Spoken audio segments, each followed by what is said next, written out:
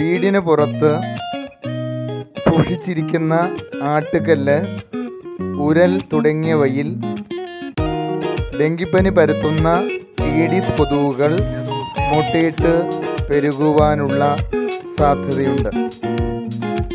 ഇവ വെള്ളം കടക്കാത്ത രീതിയിൽ ഭദ്രമായി മൂടി വയ്ക്കുവാൻ ശ്രദ്ധിക്കണം. ഒരു മേൽക്കൂരയ്ക്ക് കീഴിൽ സൂക്ഷിക്കുന്നതാണ് ഏറ്റവും ഉത്തമം.